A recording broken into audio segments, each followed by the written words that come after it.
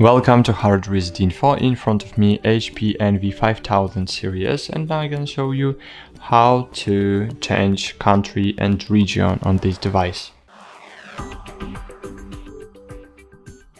Firstly open setup, then choose preferences, choose country and region and choose the country preferred and click yes.